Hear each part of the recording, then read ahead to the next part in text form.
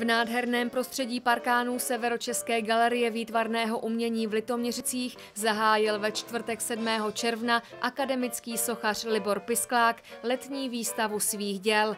I přes parné letní počasí se vernisáže zúčastnila řada hostů, mezi nimiž nechyběl ani starosta Ladislav Chlupáč.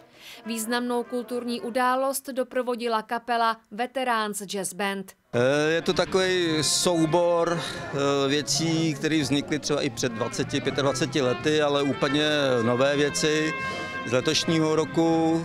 Jsou zde figury, portréty, reliefy a tematika je hodně blízká k, jako k regionu Českému středohoří. Eh, v současné době ještě probíhá výstava v Míšni, v našem partnerském městě a připravujeme ještě souborné výstavy s naším spolkem sochařským na podzim.